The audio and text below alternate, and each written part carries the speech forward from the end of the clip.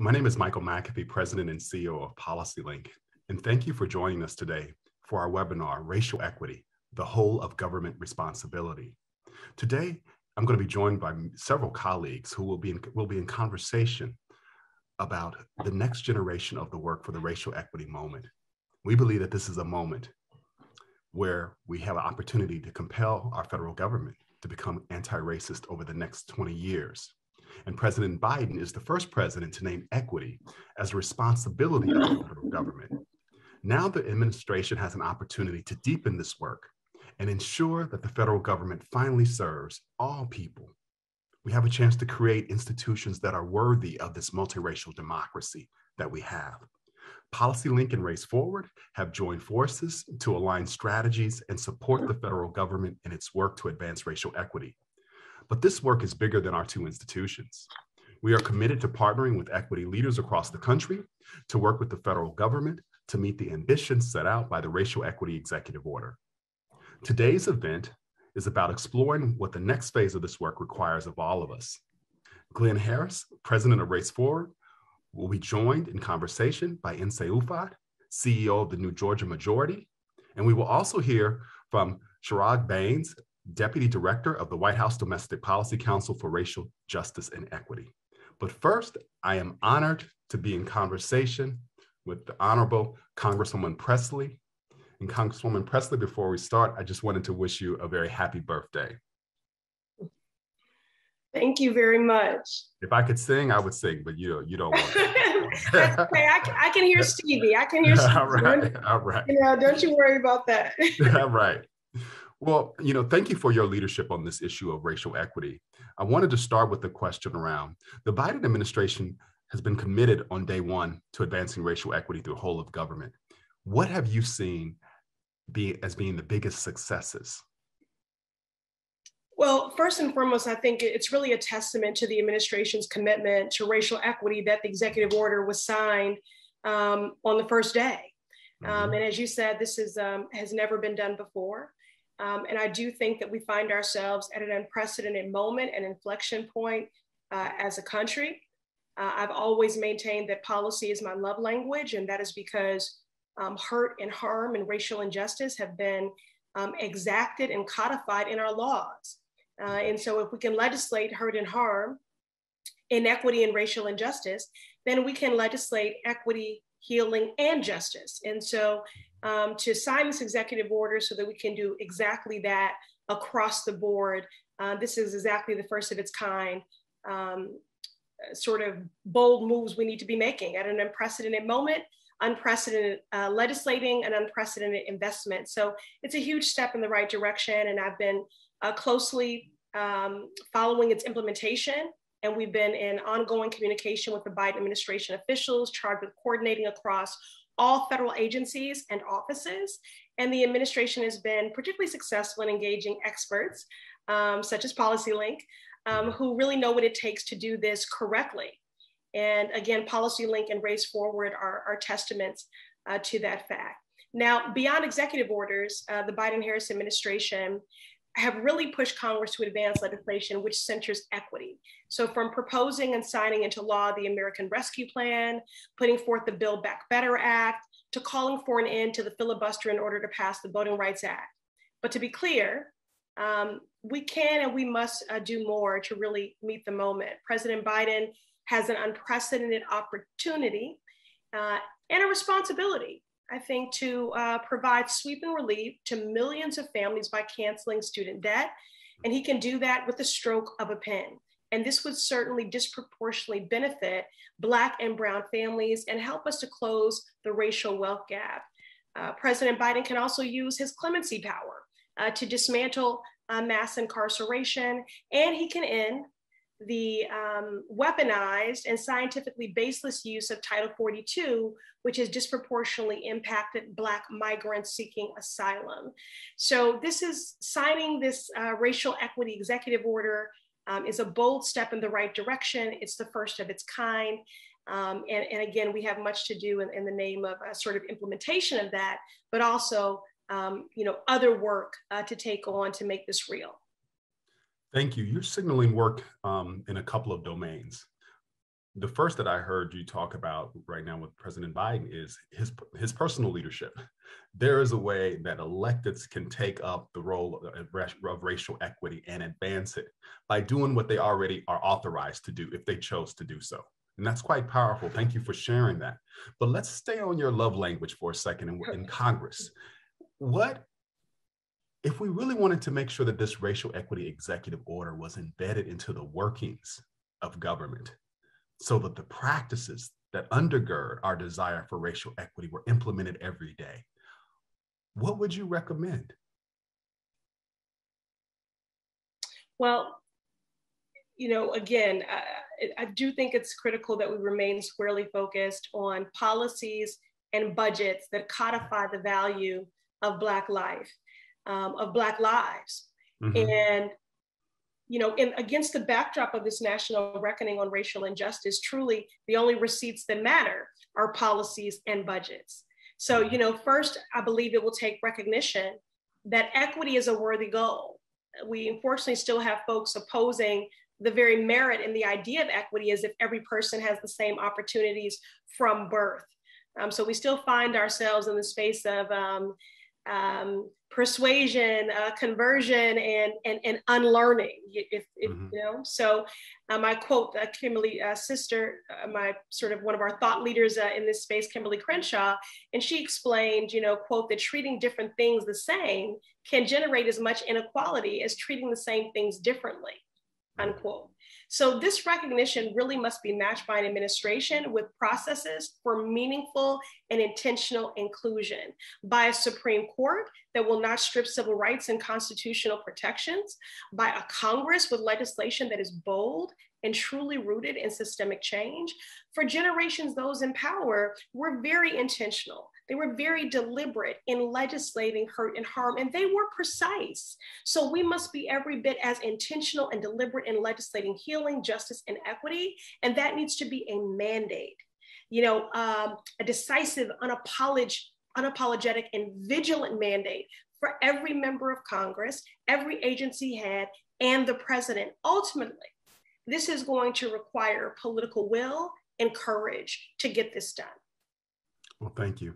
One last question for you. Those of us on the outside of government, how do we join with you and support holding the whole of government accountable for advancing this work, but doing it in a way that is productive? Sure. You know, well, uh, to quote another uh, sibling in the movement, um, you know, sort of a, uh, an, an architect uh, in this, this movement and someone who I respect tremendously, LaTosha Brown, of Black Voters Matter, you know, organized power is realized power, right? And so um, we need the public public to uh, be, be sustained in, in their organizing and their mobilizing and their demanding, just as the early architects of the civil rights movement and those, those first chapters were. You know, they were disciplined, you know, they were sustained. And I, I, think ultimately your question does go to the heart of what I mentioned in my early remarks about the sacred right to vote. So yes. it's sacred because it is valuable and powerful. And so it's really your ability to hold people in office accountable. Um, my mother, may she rest in peace and power, was a, um, a super voter. She took me with her to vote in every single election. And I'll never forget her t- turning to me and telling me, never forget that, that we, the, we the people are powerful. And I believed her then, and I still do uh, now. And it's important that that organizing, that mobilizing, that engagement, not just be limited to an election cycle. We have to do the work of movement building. We have to do the work of actualizing justice, of actualizing equity. So, you know, engage your members of Congress and senators, demand that they prioritize racial equity in their legislation and every vote that they cast, and tell them to hold agencies accountable at committee hearings. Someone has to call the question. There's no intention if no one calls the question. So again, organized power is realized power. Continue to organize, continue to mobilize, and um, and continue to push those in positions of authority to demonstrate the political will uh, to make this real. Well, thank you. You know, your leadership inspires all of us. It gives us hope that we can do work for many years to come well past this executive order. Um, as we get ready to transition to the next conversation that we'll have, any last words you have for our audience? Just that um, I, I, I want uh, the, the movement to give itself credit. I want, you know, uh, PolicyLink and others to give itself credit. The fact that this racial, uh, this executive order even exists is a testament to the strength of our movement. And so that's why it's important that we remain vigilant. I know at times we can be, you know, weary um, that um, we are still having to do the work of, of educating people, you know, of persuasion, of, of conversion, of things that should just seem uh, integral and, and essential uh, and fair on their own. And I'm asked all the time if I'm growing apathetic or cynical, and my response is always the same I don't have the luxury. Too many people are depending on me or depending on you uh, to stand uh, in the gap. So, um, you know, you all certainly embolden and fortify me in this work. And I just want to say that um, the state of our movement is strong. That's right. Well, thank you. Um, I wish you a happy birthday. Thank and, you. Um, the gift of your existence is is um, profoundly realized in all of us. So thank you. That's very kind. Thank you all. Thank you so thank much. You. Now I would like to introduce my brother, Glenn Harris. He is the president of Race Forward, and he will be in a conversation with Nsé Ufot. Glenn? Michael, thank you so much. And um, I have to say, uh, just such a pleasure to hear you and Representative uh, Pressley getting real about what this work means. And I'm so excited because we get to continue this conversation with uh, Nsé Ufot and I think lean into what uh, Rep- Representative was naming about organizing power is real power, about why we even have an equity order. And I hope to lean in a little bit more about what it means both to support and hold the administration accountable to, to the ideas that our communities have, have demanded. And so let me start out with just, uh, you know, and say you've dedicated your life to working on civil, human, and uh, worker rights issues. And as the executive director of the New Georgia Project, you lead the organization in strengthening the state's democracy. I know you all have uh, have been working, uh, registering and engaging uh, around a million el- eligible unregistered African Americans, uh, Latinos, and Asian Americans. And just want to say we're really honored to have you join us to reflect on the one year anniversary of the Biden Harris executive order on racial equity for government. Um, so let me start and say welcome. Let me let me start by uh, uh, acknowledging the obvious. You know more than most, uh, given your your life's work, that change has historically been driven by communities. That organizing power is real power. Um, but in just a, a multiracial democracy that we all envision, community and government would be working far more closely together. Um, what do you think are the most important steps the federal government can take to work in partnership with communities of color in this moment? Uh, um, I think one, uh, sort of establishing and communicating the intent and the desire. Um, I think that um, oftentimes when we are thinking about the strategy um, that is going to be required uh, to, to bring about some sort of policy change, right? Some sort of policy priority that comes from the administration that communicating to voters, communicating to the public often is seen as a marketing strategy, like a public relations strategy, like we have to go out and sell it right? And while that is absolutely necessary, when you're talking about the sort of deep, meaningful, lasting change that we seek to make, uh, it is always helpful uh, to include the communities that you seek, uh, that you are hoping will benefit from them in the planning, right? In the development, in the strategy. Um, because otherwise, we find ourselves developing policy prescriptions to address issues that have not, that, that that are not addressed by these policy prescriptions. And so, again, thinking about community, thinking about community organizations um, as partners in the development of the strategy, the identification of the priorities, uh, the testing and the evaluation of whether or not these tactics actually even work um, is really, really important when we move into our civic engagement mode, right? And we start trying to mobilize young people and people of color to go vote. We talk about electing people who will co govern with our communities. And that doesn't mean that, you know, again, when it's time to sell a bill, um, that you run out and, you know, you have your your latest uh, focus group tested messaging that co-governance means that you recognize and understand the importance of the community the power of the people and that it is present in every step every decision making step um, as we seek political and policy interventions that address the problems that we actually have that have been articulated by citizens.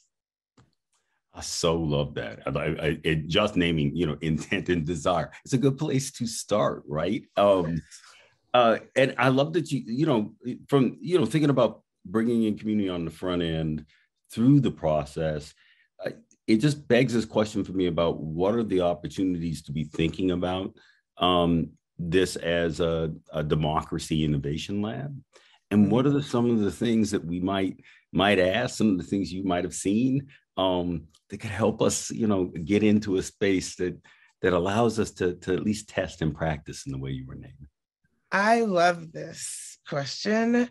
Um, and part of it is because it is central to New Georgia Project's theory of change, right? Um, I think with a slight caveat is that we often, we lead or we prioritize um, uh, engaging municipal governments and state governments as sort of democracy innovation labs when we start thinking about our democracy work. But the federal government is absolutely a venue and a place for this to happen. Um, and I'll just give one little example. I was speaking yesterday to some leaders um, in the Emily's List Network. Mm-hmm. And we were talking about misinformation and disinformation and the role of the platforms and the role of the federal government and not wanting to, you know, infringe on Americans' First Amendment rights, et cetera. But um, and thinking about disinformation as a, a, a, serious threat uh, to our democracy that is a, presents a nation destabilizing threat that used to be a tactic that was from nation state to nation state, right? Oh. That they would deploy their spies to pepper our, uh, you know, newspapers with misinformation. But now, um, you know, ordinary citizens can, can do it on social media, right? I think about computers used to be this massive federal, it was the federal government that had the resources to invest in the first computer, right? And now we all have them in our pockets, right? Um, the same thing with municipal government, that there, when there is the intent and the desire, they have the resources to experiment with all manners of public policy solutions that are designed uh, to uh, you know, improve the lives of Americans, right? So I love that there are mayors who are thinking about, um, you know, universal basic income right and and and and getting that out and seeing what impact it has on the lives of their residents i love that there have been cities and now states that are experimenting with and, and uh, getting rid of cash bail mm-hmm. right? And recognizing that um, the reason that many people are currently in prison or in jail waiting for trial is because they're poor right and and and studying and evaluating those outcomes to see if they actually make our community safer and if they actually reduce recidivism and so again while in our work in particular, we tend to focus on municipal and state governments. The federal government has a long history of innovating and experimenting and being entrepreneurial, right? And thinking about how to make our lives better. Uh, so um, now you got me fired up and and you know really leaning into to your point innovation always happens locally right mm-hmm. um, it always gets driven up and um, but I was really holding, in addition to this idea about innovation and evaluation, and even at the local level, thinking about your piece about misinformation and disinformation. And you know, um, I mean, and I love that you. I mean, two years ago, you know, uh, that that memo leaked about Russia intervening intervening in the United States for racial division purposes, right? Understanding how profoundly effective it is. And um, and we see that in real time at local level right now, right? The attacks on critical race theory, the, uh, the attacks on government, even talking about racial equity.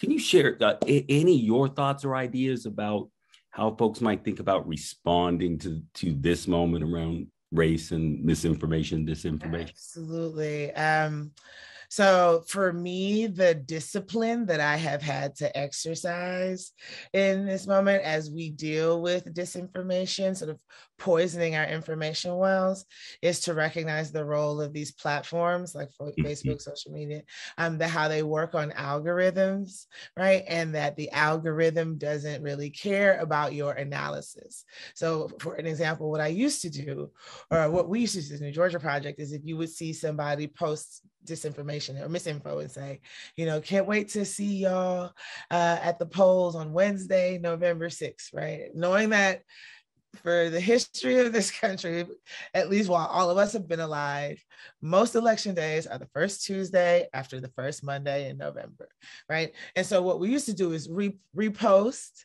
and be like, you know, look at this lying liar who's lying, right? Mm.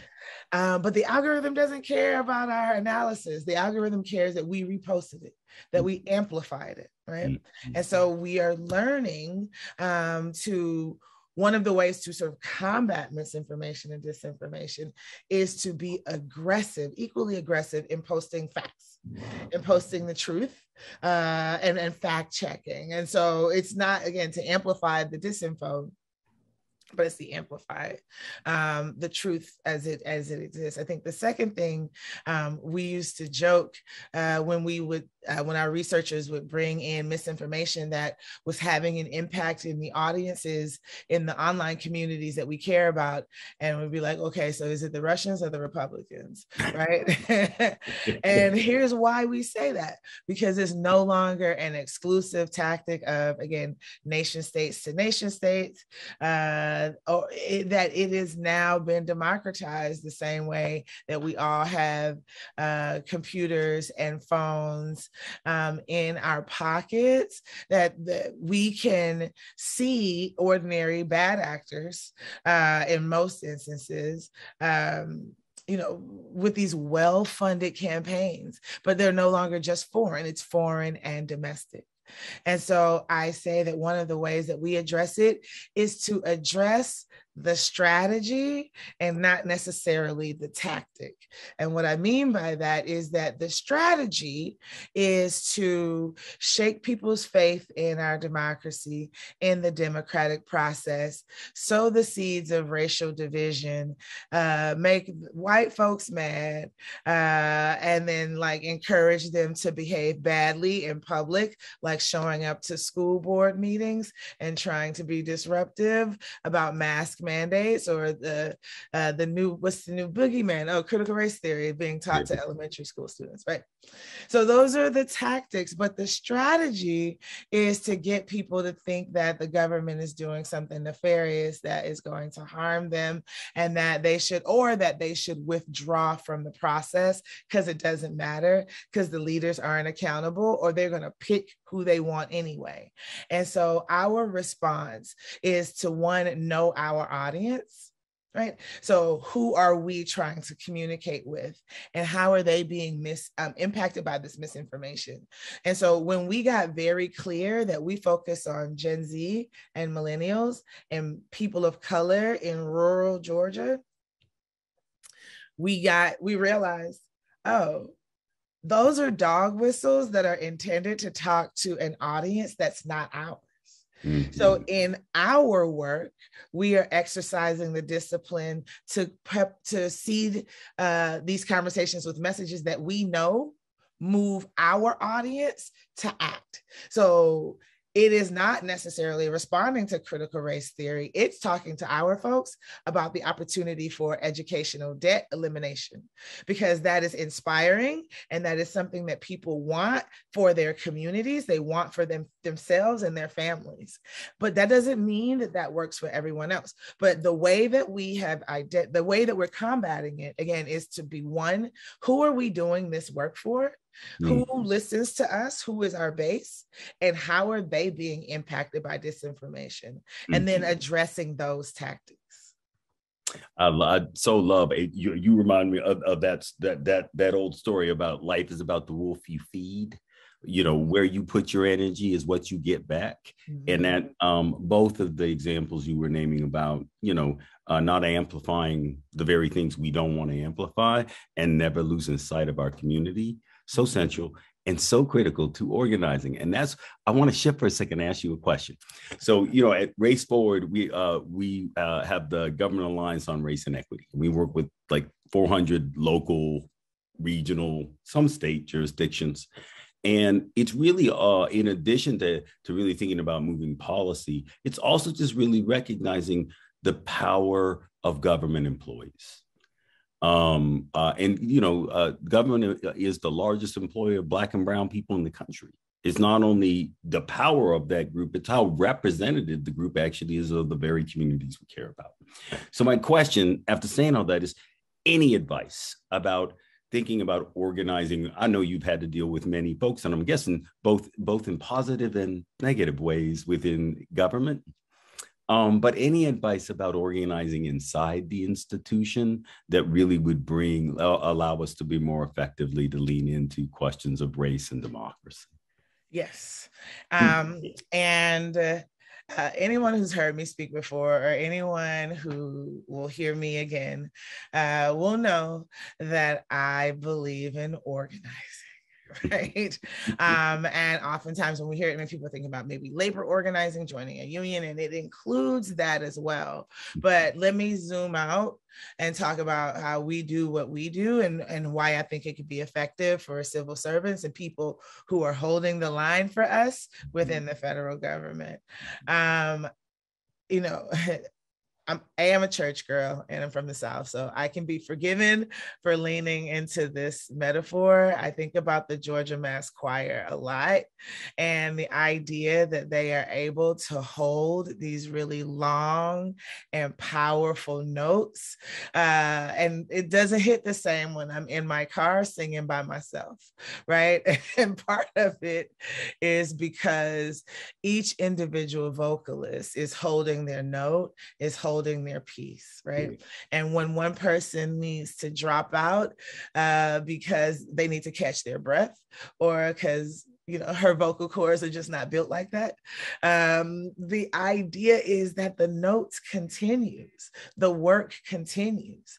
And so uh, when i think about the movement organizations the community organizations the the the employee resource groups that exist within these entities it is organized people who create the demand for the change that we want to see and who sustain the demand that we want to see. And so when there are new generations of people cycling in and out of the choir, cycling in and out of the union, right? Cycling in and out of the employee resource group, or when one individual has to drop out because of competing personal or professional obligations, that the commitment to equity, the commitment to whatever it is will continue. That there are mm. people who share your values and who have have a vision for your agency and organizing yourselves in a sustained way protects the work first mm. of all, so that if an individual gets hit by a bus or get fired or gets discredited or has some personal stuff going on, that the work continues. And it protects us, like as individuals, because a lot of times nobody wants to be the tip of the spear. Like everybody doesn't want to be Harriet Tubman, right? And I get that. And here's the beauty of it we don't all have to be Harriet. Some people have to follow the, the plan.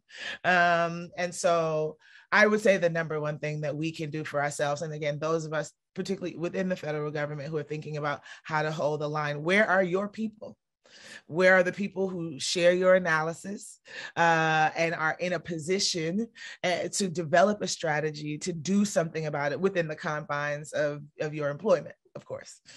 I so love, and I and I I know you just made the day for a whole bunch of folk, folks who are who are feeling the struggle of what it means to be inside an institution, hoping for the best, uh, hoping for you know equity and justice. Um, and I want to I want to take us. Um, I, I want to bring us to uh, our last uh, question and say, and I want to. We've been talking about um, how important local work is and there's no question in my mind, you know, I say it all the time, civil rights movement was not a national movement, it was a local movement that was elevated. And um, deeply believe that that innovation we see that the power of community all of it is happening locally. This is a federal executive order. And um, just really wondering about your thoughts on why does this work of change at the federal level? Why does it matter? And why does it matter for for state and local folks as as um, we think about our collective work Man, it's so critical. I think one of the examples is like, you know, the OMB study that came out of the president's executive order that identified, was it onerous administrative burdens as one of the top barriers to equity in the federal government. Um, and at the New Georgia Project, we know the impact of administrative burdens far too well, um, particularly in the South, right? That, you know, it is a form of state violence when leaders who control the levers of government use administrative hurdles as a way to deny citizens access to resources that their tax dollars pay for. Um, and so, if there are folks who are responsible for um, executing those administrative burdens, uh, maintaining them, I imagine that there are, again, ways to address it within the context, within the confines of your employment um, as a sort of additional step or moving the ball forward um, as we talk about uh, you know, equity in all of its forms. Think about again, go back to a state level, you know, these anti-voting laws are all like, you know, this is what you this is the ID that you need to show in order to vote. We've mm-hmm. changed it from 21 days of early voting to nine days of early voting. So the other thing is communicating right? Um, and so a lot of this stuff happens in the dark. They say democracy dies in the dark, right? And so shining a light on some of these deficiencies from the federal government, right? Acknowledging that there are processes that we maintain um, that are uh, creating harm um, is a big step. Now, again, how powerful it is is connected to the ability to change those things, having the desire and the intent and the strategy to make significant changes in those regards. But those are definitely, like, again, coming from the federal government, coming from the OMB, uh, a, a, recognition that there is movement that can happen that doesn't require uh, conventional, uh, congressional response or congressional approval, mm-hmm. I think is really important. And then federal funding. Um, we always coach and, and talk about throughout the context of our campaigns uh, to follow the money, to follow the bag, uh, that it will illuminate the inequities that we are trying to address. And so, where there are opportunities to make small investments or to make large investments or to shift and pivot, again, feels like something that can happen through the federal government, through its agencies uh, without necessarily congressional approving, given that Congress is so broken right now. I so I so appreciate and appreciate just um, the uh, all the wisdom and say I, I have to say it. Um, and you know, I think as we're here to be celebrating this one year anniversary, we're also here to be real about how do we actually hold both um, folks accountable as we think about helping them understand how they can be successful. And um, and so appreciate Amina in that way, the wisdom. I'm looking forward to us connecting again soon. Um, I'm also looking forward to just the the ongoing success of Georgia Project. Um, you know, uh, as goes the South, so goes the country. I I could not agree more, and thank you for that. Yeah.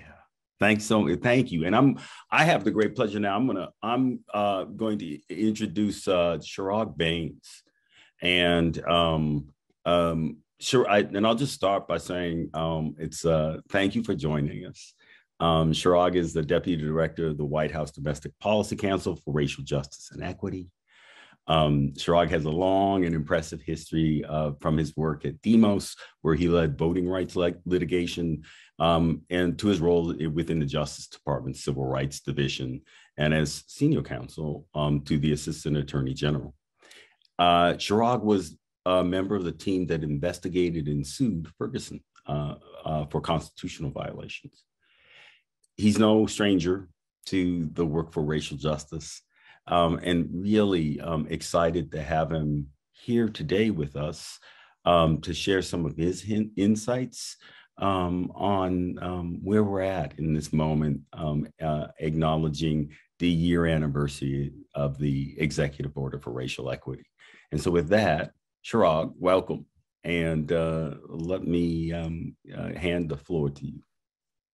Thank you, Glenn. And thank you, Michael, um, for today's remarks and for all the speakers, what they've said today, and the opportunity to be with you.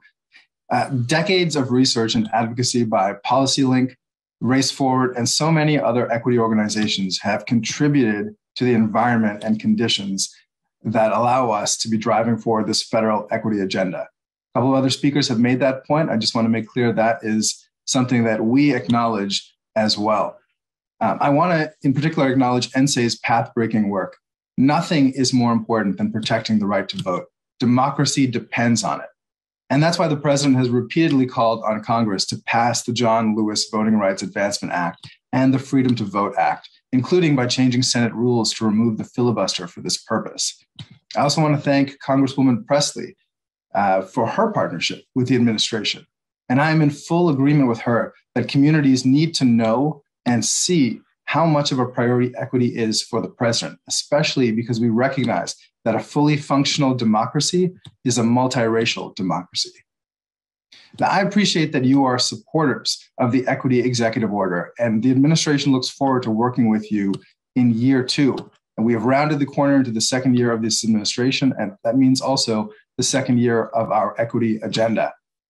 As you know, we're executing on a truly historic agenda. And within hours of taking office, the president charged the federal government with putting racial equity and justice at the heart of its work. The executive order, Executive Order 13985, launched a comprehensive initiative that infuses equity into every part of federal policymaking and decision making. The president put Ambassador Susan Rice, head of the Domestic Policy Council, or DPC, at the helm of that push. And I'm honored to lead, to lead the team at DPC that is driving forward the work to deliver on that charge. Now, the Equity EO is a transformational opportunity in the history of this nation to correct historic wrongs against underserved communities, to redirect federal programs and policies, and to invest in improving the lives of all Americans.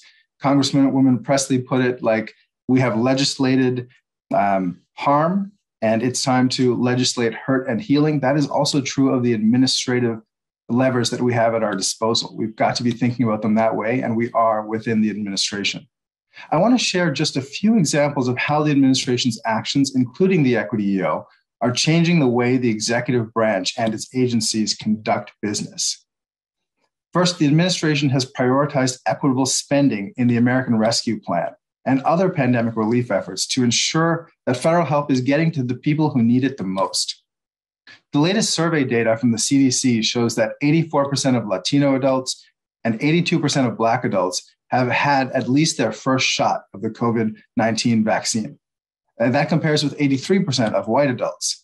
Now, these numbers were more skewed earlier in the pandemic, and we worked to end the racial disparity. These are survey data, and the, and the exact numbers change week over week. But the bottom line is that rates of vaccination among adults are effectively equal among Black, white, and Latino individuals, and they have been since early fall. Nearly 5 million Americans have gained health insurance, and with the subsidies provided by the ARP, the American Rescue Plan, approximately 66% of Black and uninsured adults now have access to a zero premium plan, and 76% can find a low premium plan. Among Latino uninsured adults, 69% now have access to a zero premium plan, and 80%, 80% may now be able to find a should now be able to find a low premium plan. You know, there's a lot of numbers I'm throwing at you, but the, the meaning, of course, is that we are dealing with the crisis in, uh, in the gap in health insurance, which is a racial equity issue. Another important data point is the expansion of the child tax credit, major priority for the administration. It has kept 3.6 million children from poverty. That program cut the poverty rate among Black children by 22%, Latino children by 29%, and AAPI children by 23%. That was all in one year.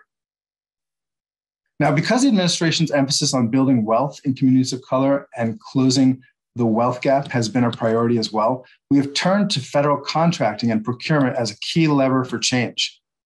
We announced a commitment to invest $100 billion, additional dollars, over the next five years in minority owned businesses and other uh, small disadvantaged businesses. And all agencies are making important reforms to their contracting and procurement practices through the Equity EO to meet this goal. This is how government does its work. What are our levers? One of the major ones is procurement, federal spending. Also, to support equitable grant making, the Department of Transportation built equity into the selection criteria for its grants announcements, including its $890 million Infrastructure for Rebuilding America grants. DOT also imposed an unprecedented pause on a highway project in Texas following complaints that the proposed highway widening would displace a, a largely Black and Latino community.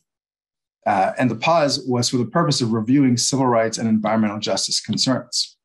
That too is the product of this uh, intense focus on equity in everything that agencies do. Another example, recognizing that workers of color face inequitable barriers to accessing unemployment insurance, the Department of Labor released $260 million in equity grants to states the purpose of these grants was to eliminate the barriers that disproportionately prevent workers of color from completing benefit applications. That's a very wonky government thing, but it's exactly what Nsé was talking about. How do we identify and then pull down the barriers uh, and, and reduce the administrative burden of accessing federal funding?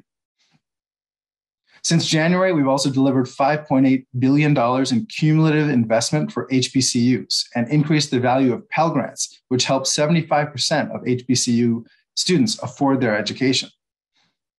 We've also taken historic actions with respect to tribal sovereignty and to support Native communities. This includes designing um, uh, programs that, in particular, target tribal communities, designating Bears Ears and other sacred lands as protected areas, 15 agencies entered into an agreement to protect tribal treaty rights. We launched a working group on respecting Indigenous traditional ecological knowledge and provided $32 billion in aid to tribes under the American Rescue Plan. So this is you know, again that was a lot of data points, but the the purpose is to identify that this has been a real priority throughout the administration. Now the equity EO is a core component of the equity agenda. It's also only one element of a comprehensive agenda that also includes a focus on diversity, equity, and inclusion and accessibility in employment. This is a point that Glenn made as well. It's a major priority for the administration. On January 20th, we reached a, major milestone. As I mentioned, of course, it was the one year anniversary of the administration. It was also the uh, one year anniversary of the executive EO, uh, of the equity EO.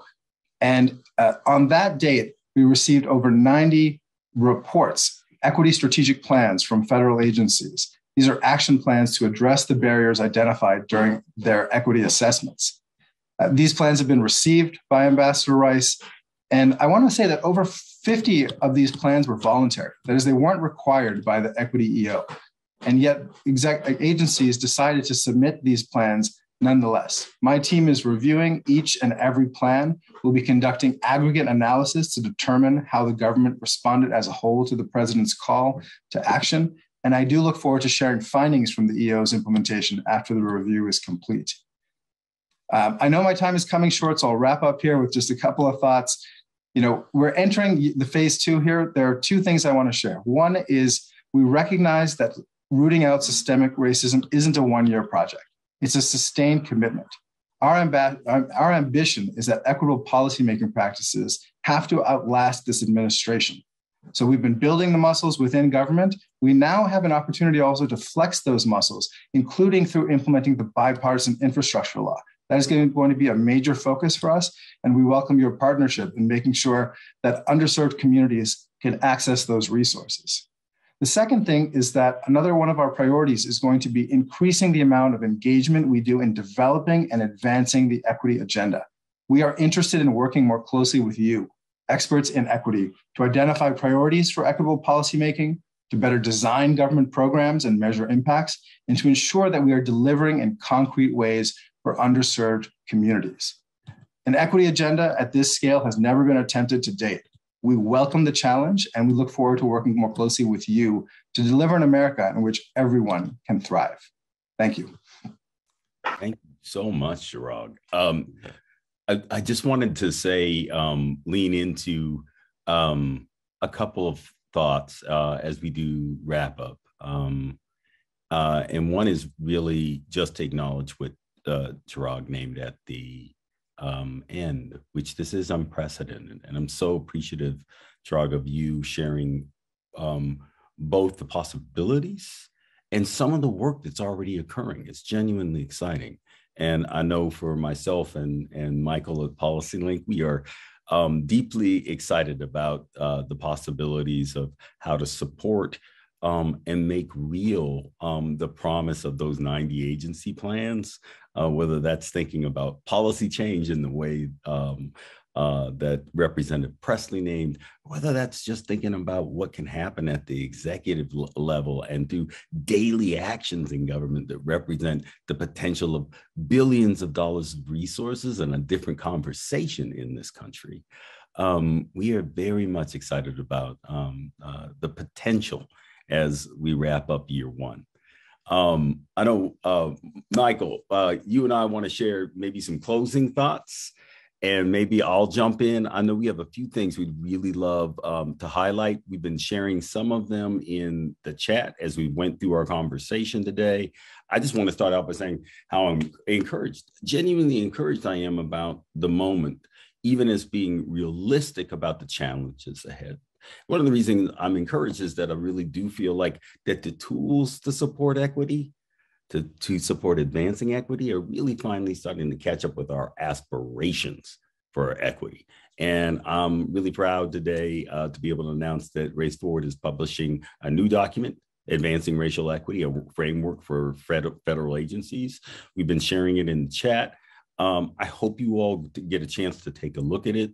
It is the uh, first in a series of resources that Race Forward, working in partnership with uh, PolicyLink, is preparing for civil servants who work at the federal level in the way that Nsé was naming about how essential those folks are in making the promise of equity, the promise of democracy real. Um, and want to just give a special thank to our peer reviewers for their support. We got great advice from retired civil servants, local equity officers, and um, and uh, representatives from uh, civil society. It's been wonderful to have this hour together for reflection um, on such a critical moment. There's nothing short um, of democracy on the line in this con- in this moment. We all know it. We all see it. We all feel it. And realizing that ideal requires being honest with ourselves, um, democracy has yet to meet its promise, especially to communities of color. We all know it's true, but it can. And in fact, it has to, because the truth is, there is no functional, just, multiracial democracy without racial justice. And we can't get to racial justice unless we have a functioning, just democracy. They're inextricably intertwined. They fight to expand our democratic structures and create a just and multiracial democracy is the most important fight of the 21st century. Um, we can't achieve this just multiracial democracy without a strong and accountable public sector. Government matters. Public servants, currently under attack um, in so many different ways, as we discussed today, are really the frontline workers of our democracy and they offer us, I think, to uh, offer us the hope and, and light for how we might move forward and think about our democratic future. Um, it's why for us, um, our work with Government Alliance on Race and Equity, um, working with over 400 jurisdictions across the country, is so essential in really um, um, leaning into that idea of what is an innovation lab um, for democracy in this moment that centers equity and justice. Um, I just want to wrap up and say success requires that none of us sit this moment out, that we're all in. Equity is the work of right now, and the truth is, it's a work of all of us. We have to move forward with urgency.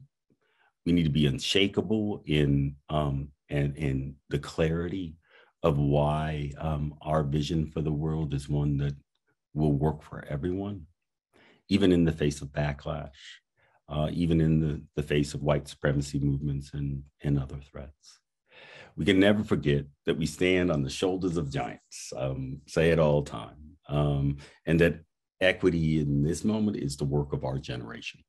So I want to thank you all for joining us, um, for being part of this movement and moment for racial equity. And I want to hand it to Michael for his closing thoughts. Thank you, Glenn, for sharing your reflections. And thank you all to, to everyone who joined today. I especially want to thank those in community who have brought us this moment. Mm. Um, and a deep sense of gratitude to the Biden administration for doing something quite transformative, transformative in centering racial equity. Only a few remarks that I have today, and um, they start with the belief that the mission of government is true. There's no debate about the mission to serve. The question now is can we recognize that the North Star of fulfilling that mission is equity? And if you love all people and want to work on behalf of improving the lives of all people, we should not be ashamed to work on behalf of Black folks, Asian folks, white folks. It does not matter.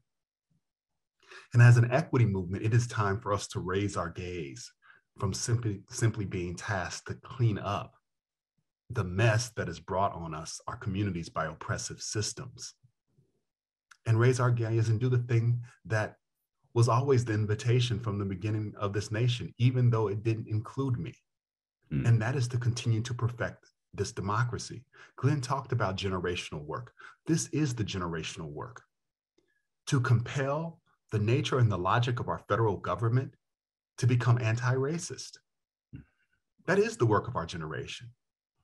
And if we do not achieve that, we forfeit the right to ask about results because you can't get them. Mm. Governing is the scaling vehicle in this nation. And it's time for all of us to stop cowering when we say the word equity. Mm. Stop cowering when we say poor whites, poor blacks, poor Asians, poor Latin folks. The definition of equity is just and fair inclusion into a society where all can participate, prosper, and reach their full potential. And there is an operative word in there that is key all. The equity movement is not about exclusion, it is about getting to the all. Mm. Without denying the fact that anti Black racism runs through all of our institutions, is the cancer that impacts everyone. Mm. So, what I'm asking you to consider in year two is to continue to be bold, to continue to have the courage to own your people. Speak truth to power when you're in privileged rooms where they're not and carry their interests into those rooms, to continue to advance public policies that lifts them out of poverty. More important, recognize that there are some moments in our nation's history where the work that we're currently doing no longer serves us well. And this is one of those moments, as Glenn spoke to. If we do not secure this democracy for everyone, the work that we're doing with our grants is quite irrelevant. The work that we're doing with our grants is quite irrelevant. It's time for us to join with folks on the ground. It's time for us to own a tagline that we used at our 2018 summit our power, our future, our nation, and own this nation. Mm. You know, I don't begrudge those who want a very different America. It is their right to participate in this democracy as they see fit, but it is also our right to participate in this democracy as we see fit. So let's stop cowering and acting like we should be ashamed to say racial equity, that we should be ashamed to talk about race, that we're ashamed of that more than 100 million folks nearly who are struggling in this nation. There is a design challenge to this nation. It's not working for the majority of folks. And while we have made progress, the invitation to continue to perfect it exists. And that's what we're going to set about the work of doing perfecting this democracy so that all can participate, prosper, and reach their full potential. Thank you for joining today. We'll make sure we share these resources with you and most importantly, share this webinar. Have a great day.